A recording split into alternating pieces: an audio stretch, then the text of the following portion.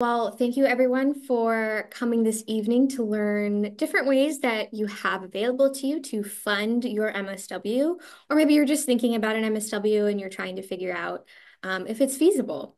So welcome. Um, if you missed it, any questions you have, go ahead and put them in the Q&A and we will answer them at the end. Um, this is being recorded and we'll send out a recording to folks. So we're going to go through a lot. Um, so don't worry, you can go back and look at these slides later. So, um, my name is Leslie. I use she, her pronouns. Um, I work in the Office of Admissions here at the School of Social Work. Um, and specifically, I do MSW admissions as well as um, scholarships for the whole school. And I will go ahead and pass it to Elisa. Hi, nice to see some familiar faces and names. Um, thank you so much for joining us. My name is Elisa. I use she, they, sha pronouns. I'm an MSW uh, year two student and in the clinical social work path. Um, and I'm one of the student information specialists. Thanks, Elisa. So Elisa and I will be taking turns presenting today.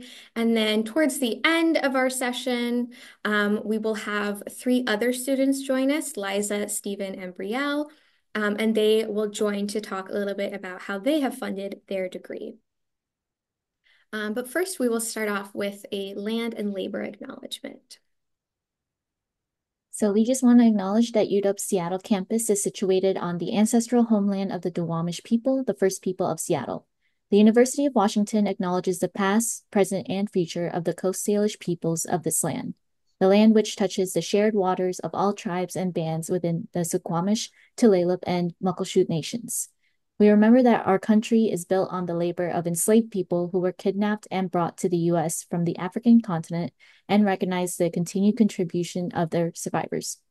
We also acknowledge all immigrant labor, including voluntary, involuntary, traffic, force, and undoc- undocumented peoples who contributed to the building of the country and continue to serve within our labor force.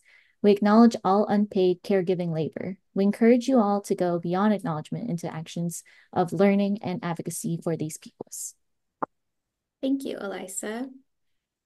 So as we begin, just a quick overview of the agenda. We're going to start off talking about tuition, then all the different types of funding, including financial aid, traineeships, fellowships, assistantships, and some select external funding options. Um, we'll go over some funding resources, briefly housing and healthcare info, and then you'll hear from current uh, students how they're funding their degree, and then we'll take questions at the end. So again, we're going to go pretty fast. Um, so any questions you have, pop them in the Q&A and like I said, this is recorded, so you can always come back and refer to these slides. So to start off, we'll go ahead and cover tuition. Um, these are the tuition and fees per program, and this is for this current academic year. So every year, the tuition fees may slightly change. Um, so you'll see that uh, the full-time programs are charged differently than the part-time programs. Um, and once you're a student, your rate is locked in, so you will pay the same amount, the same per credit fee. Um, you'll also notice that in our full-time programs, the tuition is significantly discounted for Washington residents. And this is because full-time programs are state subsidized. So residents get a discount whereas part-time programs are not state subsidized, so there's no discount for residents. Um, and instead, the part-time programs are charged on a per credit basis rather than per quarter tuition. Um, if you're an out-of-state student, uh, full-time and part-time are about the same. Part-time is sometimes slightly cheaper, um, but if you are a resident, the full-time programs are usually much more affordable. Uh, and to establish residency, you'll have you have to have resided in Washington State for 12 months before the first day of the quarter. Um, so if you expect to be a resident by the start of the program, then you can go ahead and apply as a resident. And Elisa will also talk a little bit at the end about her experience um, establishing residency. So briefly, that's tuition. And now we got to figure out how to pay for it, all the different um, funding options. So Big picture, there are three main buckets of funding. There are external funding um, options. These are private loans, private scholarships, jobs you might have. Um, and then within UW as an institution, there is financial aid, there are on-campus jobs, fellowships, and assistantships. And then within the School of Social Work, that is the departmental funding. So those are fellowships, assistantships, and traineeships. So we're going to start first with financial aid, which is um, administered by UW as a whole. So um, this is including grants, federal loans, and work study. This is all administered by the UW Office of Student Financial Aid, so not us. So while I'm going to go over some things about financial aid, we are not usually the experts on financial aid. That would be the Office of Student Financial Aid. And to get financial aid, you have to submit the FAFSA or the WASFA. Um, if you are an international student, then you are not eligible for financial aid, unfortunately. Otherwise, if you are um, a Washington resident or US citizen, um, then you can go ahead and submit the FAFSA or WASFA. Um, and just a disclaimer I always like to give is what aid you may have gotten as an undergraduate when you were earning your bachelor's degree um, may be a lot more comprehensive than financial aid you would receive as a graduate student. There are a lot more state and federal programs for financial aid for undergraduate students as compared to graduate students. So don't expect the same aid package that you had as an undergrad. Um, most graduate students get exclusively loans. Um, we'll talk a little bit about grants, but for the most part, graduate students in financial aid will really just be getting loans. Okay, let's start off with um, grants. So grants are uh, free money. These aren't loans. This is money that you get um, directly, and uh, it's only for Washington residents in full-time programs. So this means if you're in a part-time program, you would only be eligible for loans. Um, similarly, if you are in a uh, if you are an out-of-state resident, you are only eligible for loans. But if you are a full-time uh, student who is a Washington resident, you could get up to $12,000 in grants um, through FAFSA or WASFA. So $12,000 definitely helpful, definitely a sizable chunk. But even if you qualify for the maximum amount, um, you still would have to cover um, quite a bit more of the tuition. So like I said, most folks get loans. So loans um, in undergrad, or sorry, not undergrad, in, for graduate studies. Um, these are for US citizens, US nationals, and some eligible non-citizens. Um, and these are two types of loans. These are uh, federal direct unsubsidized or federal direct graduate plus loans. And you can get these through FAFSA or WASFA, although if you are submitting the WASFA, and you don't have um, documents, if you are undocumented, then frequently you are not elig eligible to take out federal loans. So a little bit more about the two types of federal loans available to graduate students. Um, they are similar in their interest rates, um, but they're different in the maximum amount you can take out.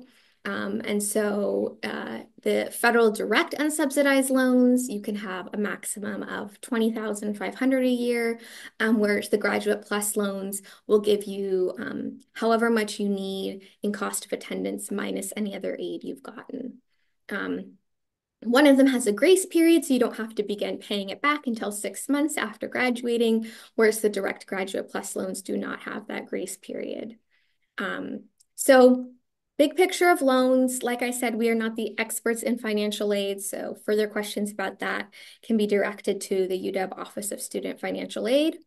Um, I will say, though, that like I mentioned, a lot of graduate students fund their studies with loans, and there are several loan forgiveness programs available specifically to social workers. So there's the big one that many of you may know about, which are public service loan forgiveness programs. This is through the federal government, and this is that your loans will be forgiven after 120 payments if you work for a government or nonprofit. And this can apply to many social worker positions. However, there's a few more that are more specialized for social workers. There is the National Health Service Corps, and this will repay up to $100,000 in loans um, if you work in a certain location for two to three years. Um, this is for licensed clinical social workers. Similarly, Washington State has its own health corps. This will repay up to $75,000 um, for three to five years of service. And then there's the Indian Health Service Loan Repayment Program, and they will pay $25,000 a year towards loan repayment um, if you give two years of service. So some programs to look into if you're know that you're going to be taking out lots of loans and looking for a way to pay them off fairly quickly. The other portion of financial aid, that's a much smaller portion for graduate students, um, is work study. Uh, and so, like I mentioned, it's grants, loans, and work study. Work study is pretty uncommon for graduate students, although some um, do get it. It's an hourly paid job. Um, you work with the UW Work Study Office to find an eligible position, and you work up to 19 hours a week. Um, so least common way of um, getting financial aid, most common is loans, and then some folks get grants. So, how to get financial aid? Well, the FAFSA is supposed to open by December 1st. Um, sometimes they will open before then, but cross your fingers, it'll be open by December 1st, as well as the WASFA. Um, the priority deadline for UW to submit is January 15th. This is also our deadline for many of our admissions. Um, so January 15th is a good date to have in your head. Um, in December is a really good time to fill out the FAFSA or WASFA. And then if you are in our advanced standing program, you'll be uh, in school during the summer. And so you have to fill out a separate summer aid application that opens April 1st. So obviously you can get aid through FAFSA or WASFA, um, but another reason to submit this is that it is a common prerequisite for many other types of funding.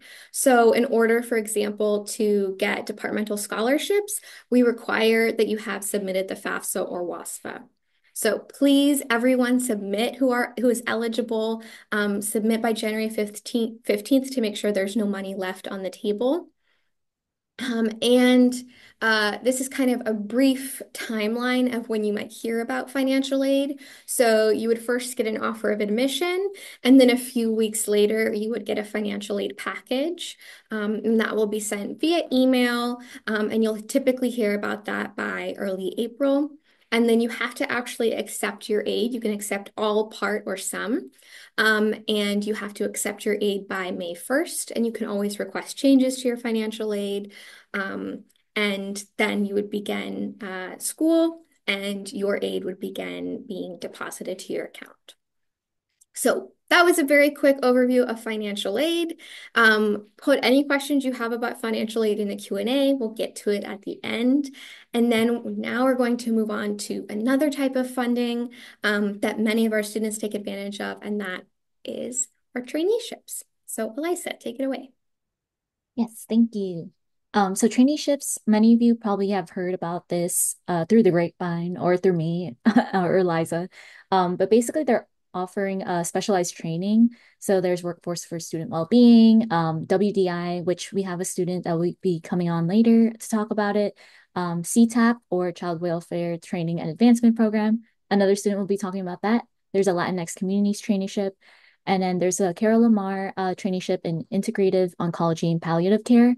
Basically, these are all within the UW School of Social Work. They have specific advisors, they have specific electives, practicums, and seminars um, dedicated to these kind of like micro cohorts within our bigger cohort. Um, so here are some of the uh, brief descriptions on traineeships. CTAP is basically just to recruit and develop skilled child welfare social workers. Um, and WDI is to increase diversity of behavioral health practitioners in the state's community health agencies. Workforce for Student Wellbeing is to recruit diverse social workers to serve in high need schools. Latinx communities support future so social workers committed to serving Latinx communities. And the Carol LaMare Fellowship is to support future oncology social workers. And just again to reiterate, there these placements also have specific practicums that you would be at. Um, and then next is, so Uh, you see the little D, I, and U. Um, so what this means is that the D stands for um, the traineeships that are open to documented students, and then I is open to international students, and U is open to undocumented students. And this is specifically to these specific traineeships. Um, if you're thinking about practicum, there are over 600 practicum sites. Um, so just to keep that in mind. And uh, oh, and for CTAP, this is for the eligibility is that um, these are clinical students, which means that your specialization is clinical and you're entering your first, second, or third year. Third year meaning EDP students, and then clinical students entering their first year and EDP students entering their second year for the WDI. Um, for workforce or student well-being, specialized students, but incoming day and EDP students can apply to hold a spot. Uh, and then Latinx communities is for specialized students. Um, Carol LaMare is for second year day and third year EDP clinical students. Um, advanced standing students may be eligible with special permission. This just means that um, it basically talks about the application cycle. So some of them, for example, the um, CTAP and WDI, because it's open to clinical students entering their first year, uh, typically there's a application either be before or like around the time you get an acceptance. And they also have their own info sessions.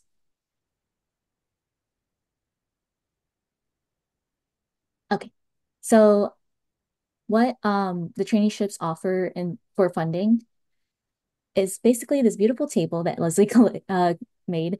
So CTAP, um, the funding is grants covering most or all of in-state tuition in exchange for working in a Washington um, Department Children's Children, Youth, and Families for time period equal to the time you receive the grant. So this means if you are funding, if you're a day uh, day student, so that's two years. If you um, are requesting for funding to cover both two years, then in exchange it would be working for um, DCYF for two years, and if it's only for one year, so on. Um, WDI is up to $51,500 for day and EDP students or $25,750 for advanced standing students and grants. And in exchange, it is working in a Washington Community Behavioral Health or Tribal Health Agency for three years. Workforce for student well-being is up to $30,000 in grants. And in exchange, work in a high needs um, Washington public or tribal school for two years. Latinx Communities is a $5,000 fellowship to one student each year. Um, and there's no post-grad requirements for that one. Carol LaMare, uh, same thing, 5,000 scholarship and no post-grad requirements. Uh, like I said, there's info sessions listed. Uh, I believe these are also listed on our website. Oh, there we go. Thank you, Leslie. Um, they also, like I said, they have their own advisors and they would be much more equipped to answer any specific questions you might have about the program or the traineeship. Um, so I highly suggest you check them out.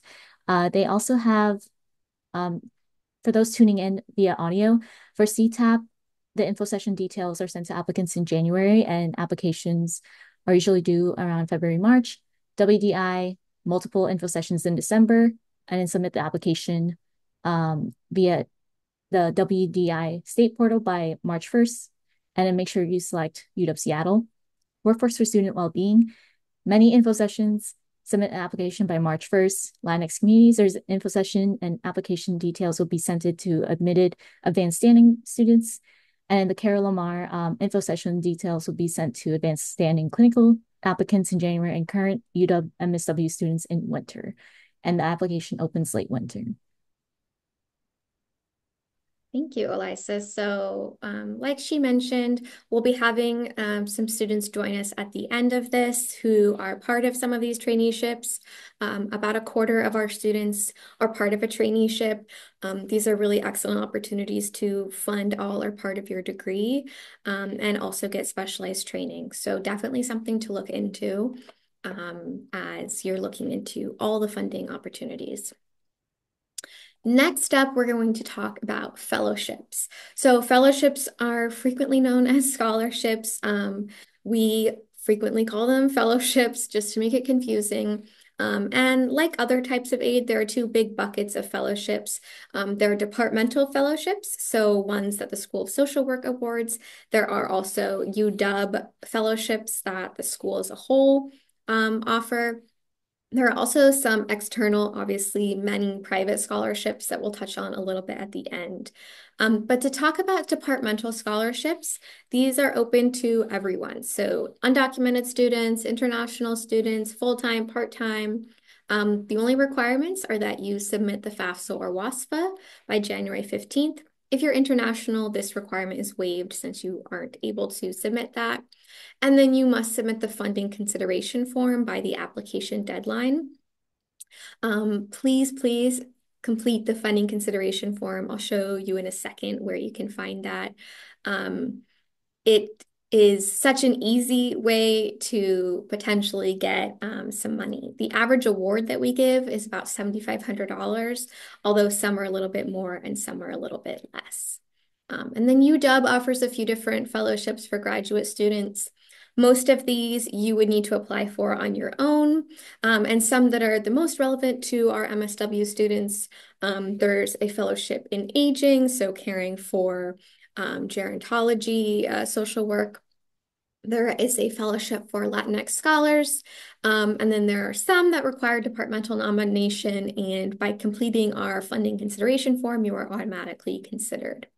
So to make sure that you um, are considered for departmental funding, you must submit the funding consideration form. After you submit your general MSW application, in the portal, this checklist will appear with everything that you have completed and are still awaiting. And this is where you'll see post-application questions. This is the funding form. So once you've submitted your application, do not forget to also submit the funding form. Um, you don't want to leave any money on the table. If there's a possibility to get funding, definitely, definitely do it. Um, it's not very many questions. So be sure to complete those post-application questions to be considered for departmental fellowships. Um, and then a brief timeline of when you might hear about that uh, you would get an offer of admission. And just like financial aid, you wouldn't hear about fellowships until a few weeks later. Um, then, if you are offered a, fun, a fellowship, uh, you'll be sent an email, usually in mid March. Um, you'll also receive an email if you weren't selected for a fellowship. You'll have until April 15th to accept the award and accept your offer of admission. Um, and then if you are in a program that is two or three years, so our day or part-time programs, then every year you are a student, you'll have an opportunity to apply for fellowships once again. So if you don't get a scholarship this year, um, you may get one your second year. Um, also, if you do not get a fellowship in mid-March after an offer of admission, um, it may still come a few weeks later. This is because as students may decline their offer or their awards, some funds may become available and we re-award those funds. So while the vast majority are awarded in mid-March, there may be a few that are awarded after this. Um, just briefly in terms of like how uh, likely is it that I will get a fellowship? So about 90% of our part-time students receive funding over the course of their MSW. So over the course of their three years with us, 90% will get a fellowship. About 43% of our full-time students receive a fellowship over the course of their MSW. Um, and about 61% of all MSW students will get some sort of fellowship over the course of their MSW. So this is fellowships or scholarships. Um, we're going to go to the next form of funding, which are assistantships, which Elisa is an expert in.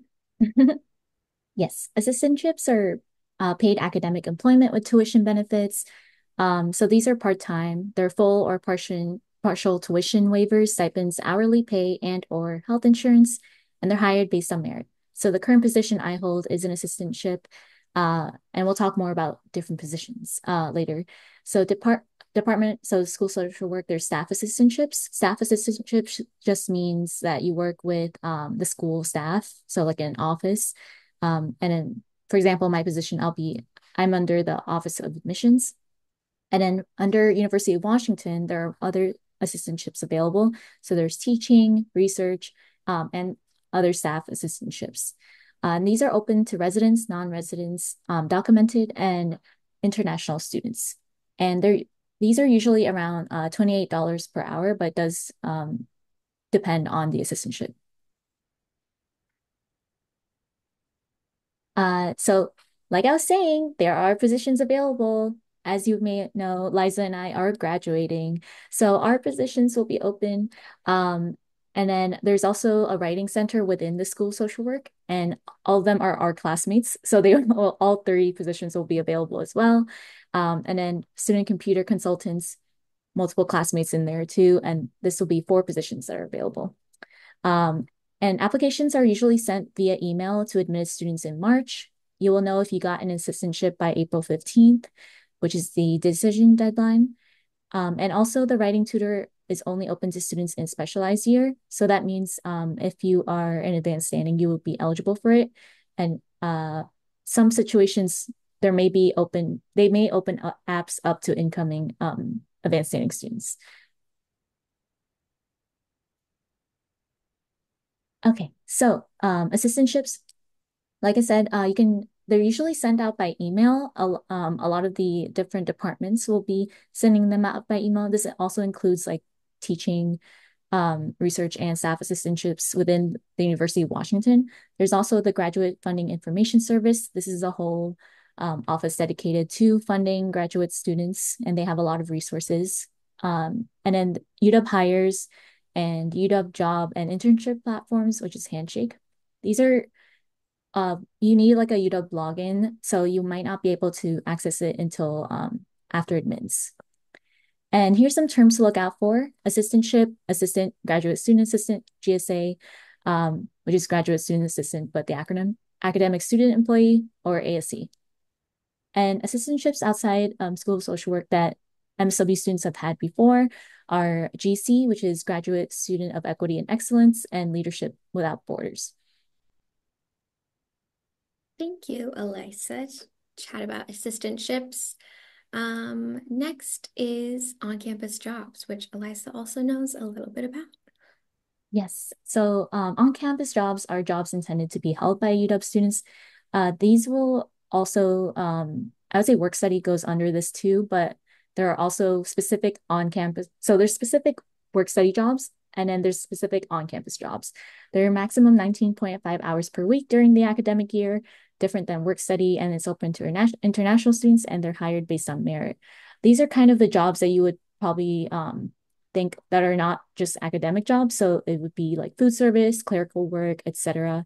Uh, this is also available through um, Handshake. So again, you need to be able to have a UW email and um, net ID to log in. Great. Okay, we're going to briefly cover some external funding opportunities and then we'll hear from some students. So um, briefly, some external funding opportunities are those that are outside scholarships, outside loans, and tuition assistance programs. Um, so for outside scholarships, we do have a section on our webpage um, that lists some resources for finding scholarships, as well as specific scholarships that some MSW students have found to be relevant.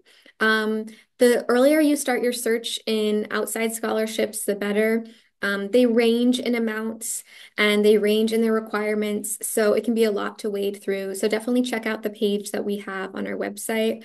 Um, to help narrow it down a little bit, you can look based on identities that you hold or fields of interests. Um, so definitely don't discount outside scholarships. Now, in terms of outside loans, um, we would strongly suggest that you only look at outside or private loans after you have borrowed the maximum you can through financial aid loans. Um, this is because interest rates and repayment um, plans are much friendlier um, with federal financial aid. And so really only go to private outside loans if you have to. And note that they are still counted in your financial aid calculation and must be reported to the Office of Financial Aid. Um, UW has a really good article on their page, on their financial aid website, about um, some things to look for in private loans that are reputable. And then finaid.org also has really good guidelines for finding private student loans. And then in terms of outside tuition assistance programs, um, one that I would like to mention is the Department of Veterans Affairs Health Professional Scholarship Program for Mental Health Professionals. It's very long, um, but you don't have to be a veteran. You don't have to be military uh, affiliated. They will cover 100% of your tuition as well as a living stipend, and you get a guaranteed job in Veterans Affairs afterwards. So if this is something you're interested in, definitely take a look into it. It's a great way to fund your degree. Um, and then another tuition assistance program is the Washington State Employee Tuition Exemption Program. So if you are employed by a Washington State agency and you continue to work for them at least 0.5 FTE while you're in school, you can get about six credits free each quarter. Um, there's some bureaucracy involved in this, and it's only available to those in full-time programs. Um, but if you have questions about that, feel free to email us. We can give you the full detail um, on how to take advantage if you are a Washington State employee. You also obviously can work. Um, and Elisa is an expert in working during grad school, so I'll let her take this one. Okay. Um, I, we get this question a lot, Liza and I. Uh, can you work during the program?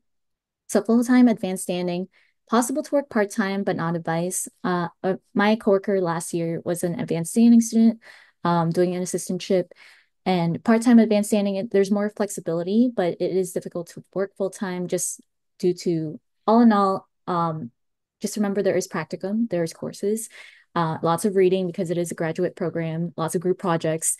Um, and I'll save my idea until the end. Uh, full-time day program, uh, first year, many work part time, just as myself, and then you'll hear from some of my classmates. And then second year, possible to work part time, but not advised. And then part time extended degree. First year, most most of them work full time, but then in the second year, many students often cut back on hours due to them starting their practicum.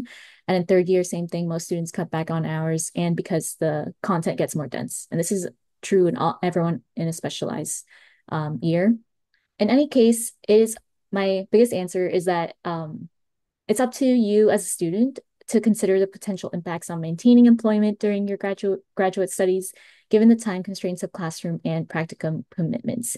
Um, there's a lot of group projects, there's a lot of reading, and I just really want to reiterate uh, that you want to be a good classmate as well. So just keep that in mind.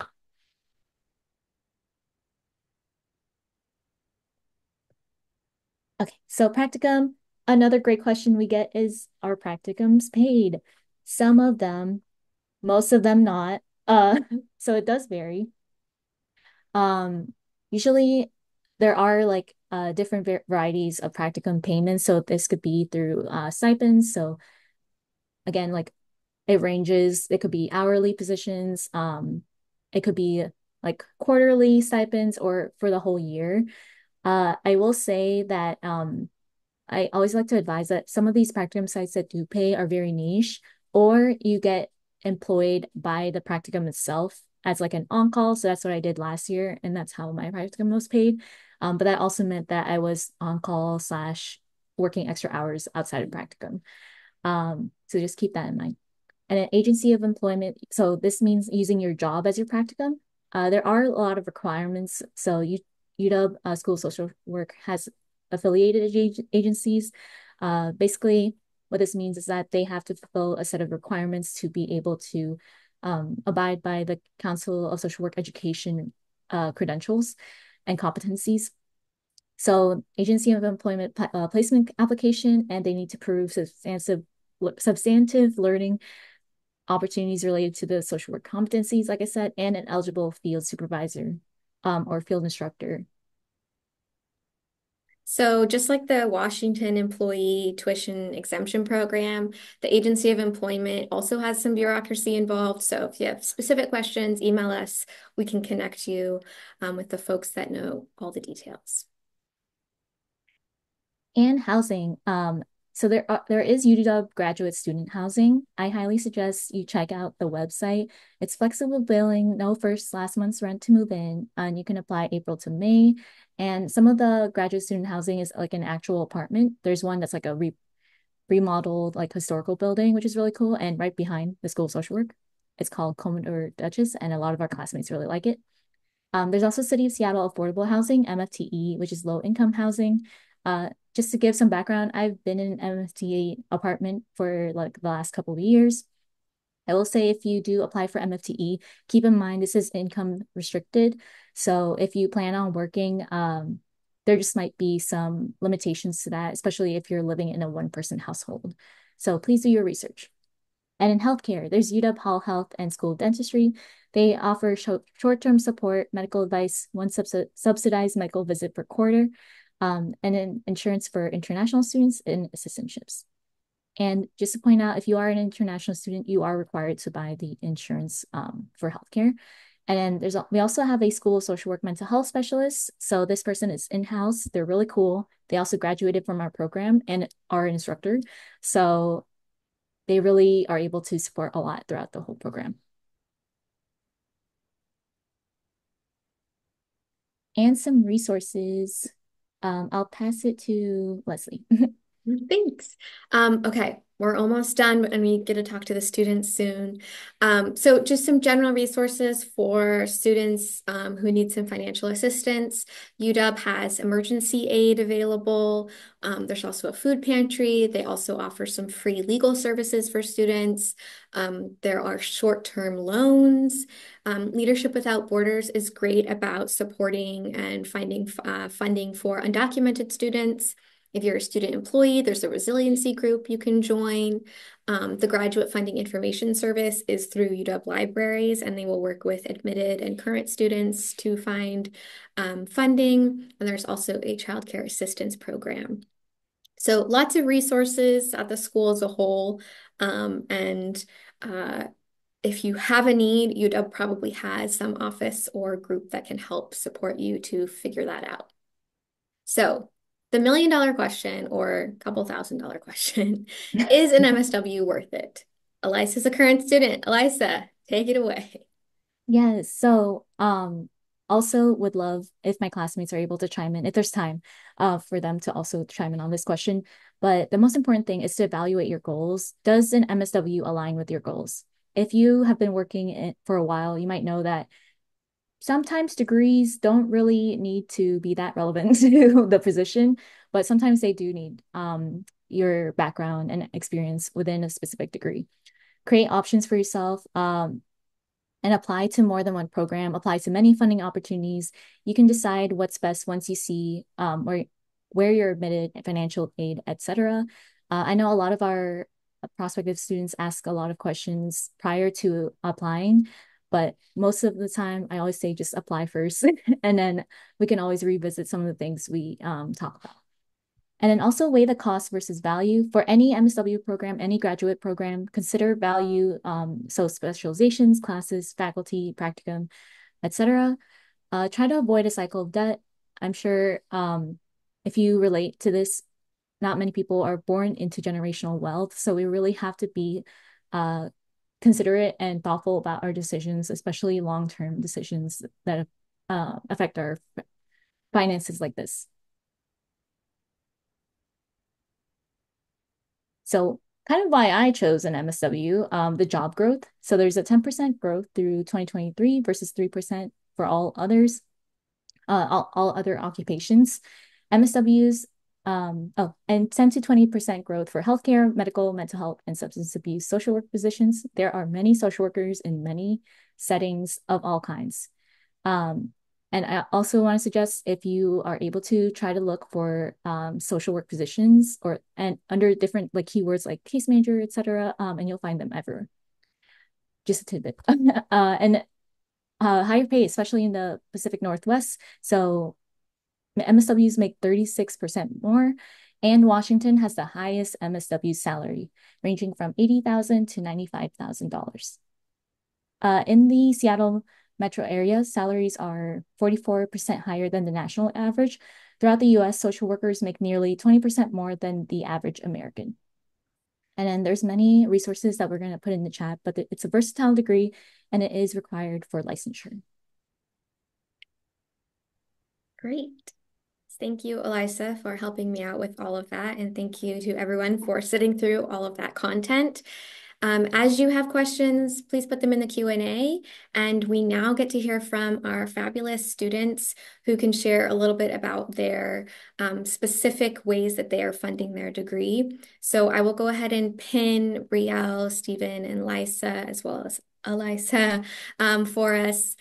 And um, Elisa, since you were just talking, I'll give you a little bit of a break. Lisa, if you wanted to begin sharing your experiences, um, please do. Yeah, thank you, Leslie. Hi, everyone. I'm Liza. I use she, her pronouns. I am an international student and I am also a coworker of Elisa. Um, so I am currently doing the graduate student assistantship as a student information specialist working at the so School of Social Work's admissions office. This is one of the great opportunity for international students to apply for this position. Um, I would say as an international student in the in grad school and in social work, um, the opportunities for getting funding is definitely limited. So we really need to try to utilize all the resources um, and really try to use your navigating ability as a future social worker to help find things that will work for us. Um, usually, this will be on campus jobs, uh, which we mentioned in the earlier uh, slide. And I will also suggest um, people looking for Circle, which is Center for International Relations and Cultural Leadership Exchange. That's at UW. They offer a lot of really great resources on navigating financial resources. So if you just put in UW Circle in Google search bar, you will be able to land to that page. Um, and I'll also put links. Oh, thank you. Um, the link is in a chat uh, by Elisa.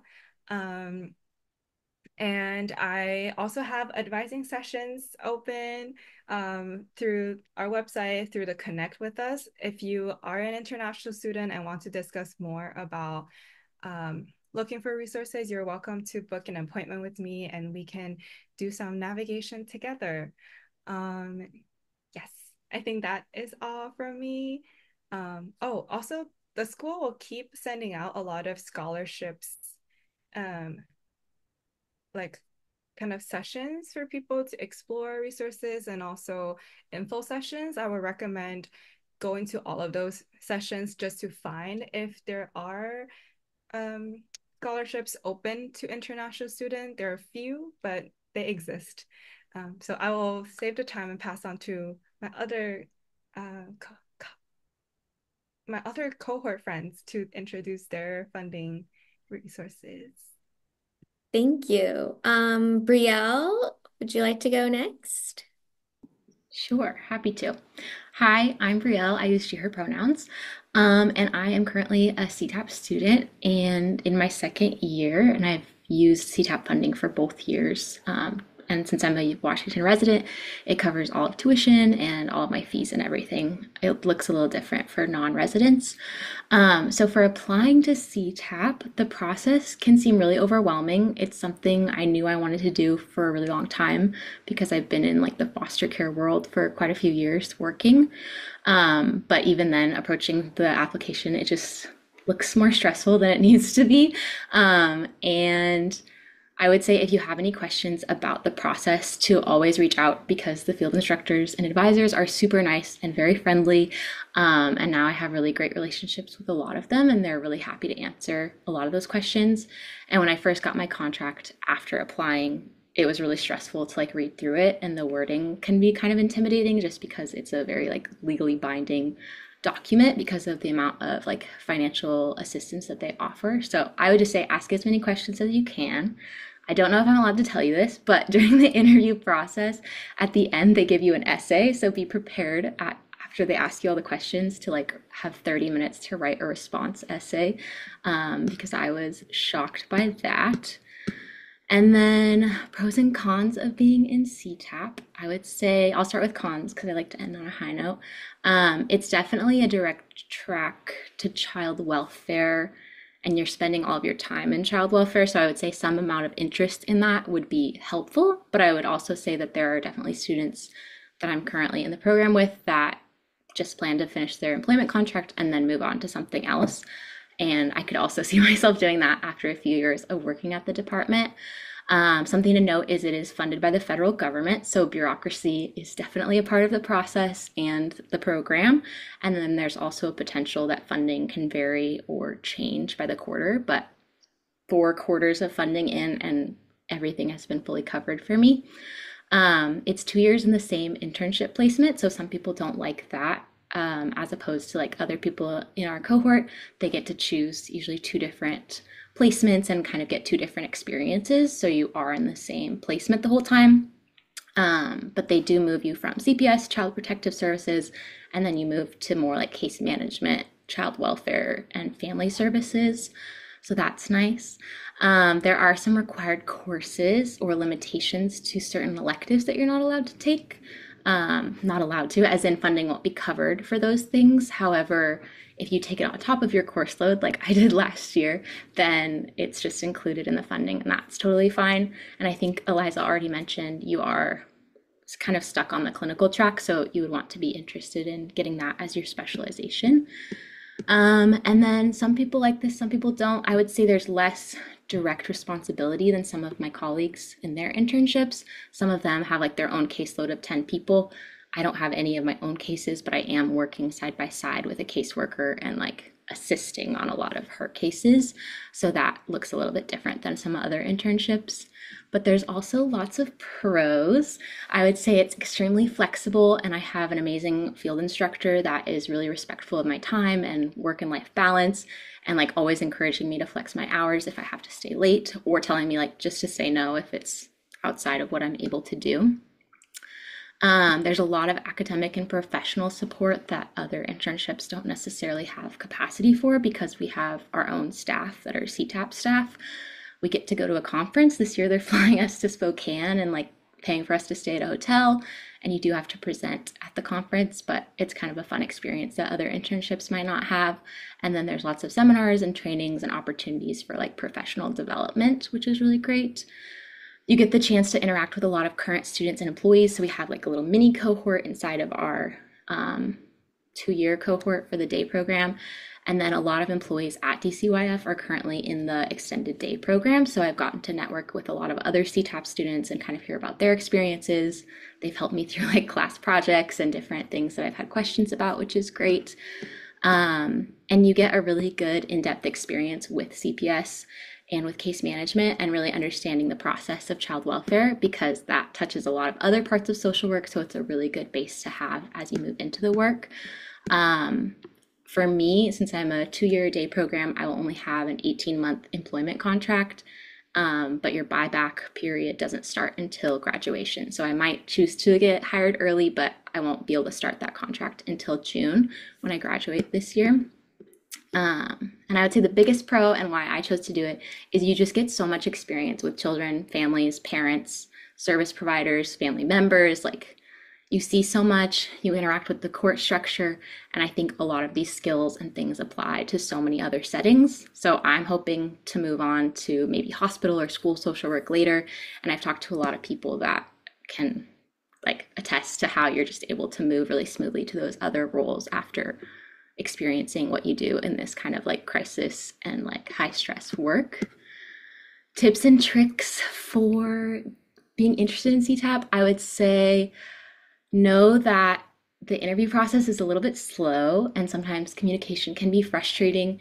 So it was hard for me when I was applying because they make you commit to UW. Like that deadline is before CTAP gives you an answer on whether or not you got accepted and will be getting funding but you are able to email UW and let them know like I'm waiting for a response from CTAP, so I don't want to pay $250 until I know. That was my situation. I wasn't able to commit until I knew I had the funding to do school. So I would just put a little plug in there that you don't have to make that decision unless you're ready. Um, and then you can also apply to other scholarships and receive other financial aid on top of what CTAP gives you. And that's something I didn't know before starting the program they told us like partway through the first year that that would just be deposited into your bank account. So this year I was able to apply for additional scholarships and get a little bit of like, I don't know, income, I guess, on top of the tuition assistance, which is really helpful. And then working at DCYF does come with some pros. It's a really good starting wage and benefits package compared to some of the other starting salaries. And they have started a licensure program that is just getting up and running. So when you would graduate, you would have the opportunity to get free um, supervision and support for the exam to get your license if you're looking to do that after having your MSW. And that's all I have for now. Thank you, Brielle. Even I learned some stuff from that, so thank you so much. Um, and I will pass it over to Stephen to talk about WDI.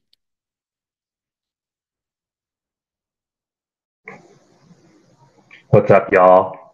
Mine is not going to be as intensively, like, very well informed presentation that Brielle did, but I can definitely do one. Um, yeah, I guess I'm not going to really do an overview, but you know, WDI is the Washington State Behavioral Health Workforce Development In- Initiative, and it's basically to get social workers into community head behavioral health, uh, community mental health, um, because of the behavioral health Washington crisis in Washington, um, which doesn't really exist because behavioral health crisis doesn't actually mean anything. It's just poverty, but it's just like how we validate putting more money um, and grant money into these projects. But I digress. Why I chose WDI is because I needed money um, and I needed to get out of my job that gave me less money than I needed. And so I applied to it. Um, and preparing for the WDI, it was pretty easy. Um, it's really not that much. Um, it's not that competitive because they actually want you to work in these systems. So if you need the money and you don't want to deal with having to pay for tuition, I would definitely do it. Uh, just know what you're getting yourself into in community mental health and you are prepared for that. Um, to give you an example, I have a caseload, not big, but of eight. I think two have psychosis, two have schizophrenia. Um, they all have PTSD, all have major depressive disorders. Um, and it's great. I really like it. It's fun. But if you're not used to that um, or don't feel like you want to do that, I would be cautious and maybe just research of what things you would want to do. Um, you are hire, um, interviewing for these practicums too. Um, and you know, you have 130 people in your cohort and 20 plus people in your WDI cohort as well, right? Who has that money. So you're going to be going on for the same practicums. Most of them are going to be unpaid. Um, so you'll be, yeah, in it for a while. After three years, um, of your program, right?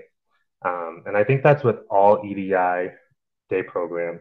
I think advanced stand, advanced standing has two years after that you have to fulfill. Um, but other than that, yeah, I gave you all the cons. The pros is you get money, which is great. You get licensure after two years. The whole funding is 51k. So if you're out of state, it's not a cut, not going to cover your license, your uh, tuition. If you're international, you need like a work authorization after your education visa expires anyway. So I don't know. That probably is pretty challenging to do. I don't know more information on that, but I know that's the process. Um, and uh, yeah, that's what I got. Thanks for listening. Thank you, Stephen. Um, so Stephen and Brielle can answer some questions um, in the chat if you guys have about CTAP and WDI. And while they do that, Elisa, do you want to chat with us about assistantships, residency, all that? Everything. Um, yes. If you have the emojis, please give them a round of applause. And thank you so much for taking out the time to come tonight and talk to everyone. Um, so assistantships, like I said, Liza and I are in this position. Um, there's an advanced standing student last year, my coworker who, and also was on the first slide, shout out to Grace, um, who was in this position last year. Uh, I will say they're very, very competitive. Um, if Liza wants to talk about the process since uh, she recently onboarded, but they are very competitive. They're just like jobs. So you would have to uh, apply for it, um, get invited for an interview, and then wait um, a little bit for decisions, etc. Uh, I also am a research assistant um, these are some paid positions, but again, this is another extra like workload. Some of them have requirements, some of them are flexible. It just depends on who's your research team. Um, and I'll say more on that later. But uh, establishing residency. So what I did was I actually moved to Seattle a year before I started to apply for the program. Um, this was just like perfect timing for me. I had a previous position that able that was able to transfer me to Seattle for one year. Um, so there was that. Uh, and I was really lucky to be able to do that. Um, I will say if you are establishing residency, I know someone had mentioned it and we can answer it again later, but um, you you have to do it before you um the before the start of the program that you're applying for. So our programs start in September, but if you're an advanced standing, you would have to uh that would be July. So you would probably have to be here in June, like up to June. Y'all can read it. Uh, I'll put the residency affidavit. But um also uh this is a question in the chat that you cannot switch from non-resident to resident um because also if you think about it that would apply to everyone and it uh, that means that tuition would change for everyone. Um, so in order to establish residency, the residency affidavit is only um, before you start the program. Uh, and it also has to be for um, a non-school related. So you can't move to Seattle and then take courses. Uh, it, could be like you were working a job, um, but just keep that in mind. That's also one of the requirements. Uh, supplemental income, I talked about this last year, but I dog sit, I plant sit, I try to help out when I can. Um, I also substitute teach. So there are a lot of opportunities in Seattle, which is really lucky. I know a lot of my classmates also work um, in the restaurant industry and hospitality industry, so that typically those are a little bit more flexible. Um, I will say I don't work as much this year uh, just because of our practicum requirements and also just like our much heavier workload. And like I said, I'm on the research team now. Uh, and then I'll, thus leads me to the last point. I took out a loan, a very micro loan. Um, so any good uh, or any a good piece of advice that I've gotten is to only take out a loan that you are absolutely required like needing. Don't take out more than you need to, unless you want to slash need to. Um, but for me, I only took out I believe like 6,000 or something along lines. Um, and it's distributed over the whole year. And it was only for this year. Uh, and they, so it's about like 2,000 extra per quarter because we operate on a quarter system. Um, and that was a way for me to just supplement um, my living expenses without having to work so much um, in my supplemental income or other positions. Um, yeah, uh, I think that's pretty much all I have. That's a lot. Thank you, Elisa. Um, so it is seven, so understand if you have to leave. Um, this is also where I will go ahead and plug that if you have any questions, you can email us, you can follow us on Instagram, um, you can book an advising appointment with Elisa or Liza. Um, there's lots of ways to get in touch with us. Uh, Stephen gave their email in the chat if you want to reach out to Stephen about WDI. Um, I will go ahead and stay after to answer all of the Q&As, um, but I'm going to go ahead and stop the recording since I know sometimes people share things in the Q&As that might be a little bit more um, personal.